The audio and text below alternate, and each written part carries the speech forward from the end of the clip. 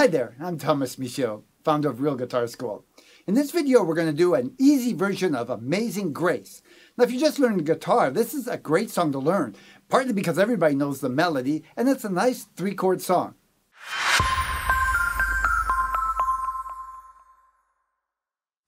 Amazing Grace. We're going to use three chords. The D chord. I'm hitting the fourth string all the way to the first string. The G chord. Now I'm going to make a four note G with four fingers. You can make any G that you're comfortable with. Some of my students like to just go to the three note G, and then some of them do just two notes because they're not quite ready. You can even do one finger and it'll actually sound pretty good.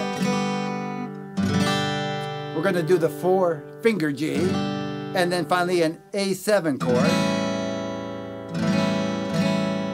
And again, you can do the A7 several different ways. So it's in three quarter time. What that means is three beats per measure. It's a little different feel than four beats per measure. It's one, two, three, da, da, da. You don't have to know the music theory, it's the feel we're after. Da, da, da. Let's do it with a straight down strum to start off with. It's going to be D. You follow along with me. By the way, I have the download sheet on my blog lesson, so you can always look on that for the lyrics. Now follow me. Strum along. Here we go. Straight down. Easy. Amazing grace. I'm not a singer. Da G and back to D.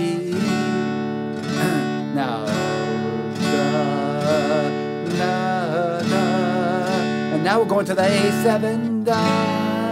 Two measures there again. Two da and then back. What's lost? The G now and back to D.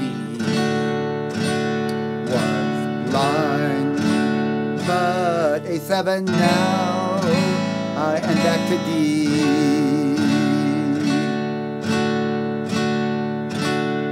Okay, let's do that one more time. If you want, try this strum that I'm going to use. It's just down, down, up, down, up. And if you're not sure about that, practice the strum separately. Just take your guitar, even block off the chords, block off the strings so you don't hear them. Just make this strum. Down, down, up, down. I count like this. One, two, and three, and one, two, and three, and.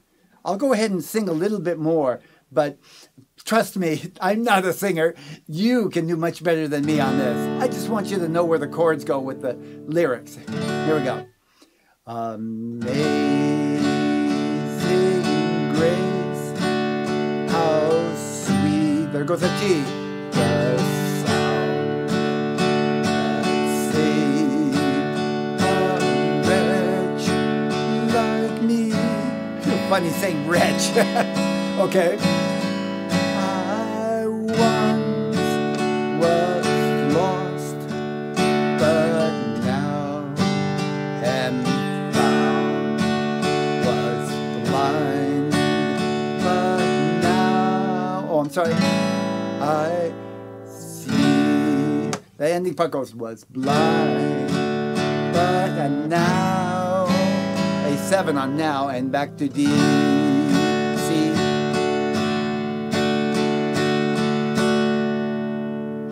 Okay, just a little bit of theory. That is in the key of D. It starts on the D and it uses the three chords that are in the key of D. You can change the key on this, but if like it's very low for my voice, first thing I would do if I wanted to sing a little bit higher is I'd put a capo. Let me show you. Okay, here we are with a capo. Now rather than change all the chords, this is an easy way to raise the key up a little bit. Now I've raised it up two frets, that's one step, so it was in D, now it's going up one full step, D to E is one step. D sharp would be half a step, that'd be one fret, to E. So you don't even have to know that, just know it works better for your voice. Can you hear it's higher pitch? I'm going to play the same chord forms. That D now becomes an E chord, one step higher. Amazing. Try it along with me. If, if you have a capo, put it on and just try it once through. Amazing